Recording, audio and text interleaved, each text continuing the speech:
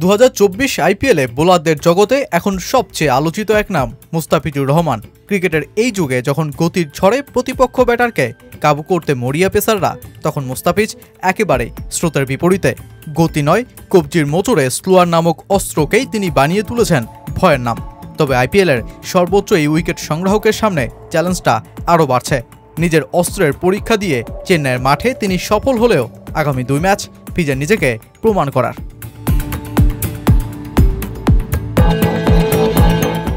চিপকের মাঠের বৈশিষ্ট্য মুস্তাফিজুর রহমানের বোলিং অ্যাকশনের সাথে মানিয়ে যায় একেবারেই। নিজেদের গেম প্ল্যান বাস্তবায়নের জন্য মুস্তাফিজকে পরিকল্পনা অনুযায়ী দলে নেওয়া চেন্নাই সফল। সিএসকে জার্সিতে তার খেলা চার ম্যাচে তিনটাতেই তিনি খেলেছেন দলটার হোম গ্রাউন্ডে তার নেয়া নয় উইকেটের আটটি এই মাঠে।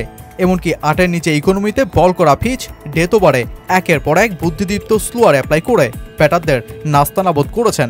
তবে সামনে চেন্নাইকে নামতে হবে প্রতিপক্ষের ডেরায়। তাই নিজেকে প্রমাণের চ্যালেঞ্জও বাড়ছে মুস্তাফিজের। কেননা চেন্নাইয়ের বাইরে বিশাখাপাটনামে দিল্লির বিপক্ষে মুস্তাফিজের খরচে এক উইকেট নিয়ে সাতচল্লিশ রান।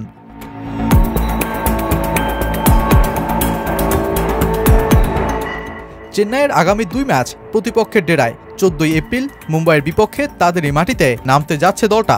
হন্যে হয়ে জয়ের খোঁজে থাকা মুম্বাই চেন্নাইয়ের ওপর চড়া হওয়ার একটা ইঙ্গিত দিয়ে রেখেছে দিল্লির বিপক্ষে সাত এপ্রিলের ম্যাচে, যেখানে দলটা হোম গ্রাউন্ডে দুশো রান করে আসরের প্রথম জয়ের দেখা পায়। ইতিহাস বলছে, মুম্বাইয়ের ডেরাই চেন্নাই রোহিতদের থেকে জয়ের হিসেবে পিছিয়ে। ওয়াংখেড়েতে দুই দলের দেখা হয়েছে বারো বার, যা সাতটাতেই জিতে নেয় মুম্বাই।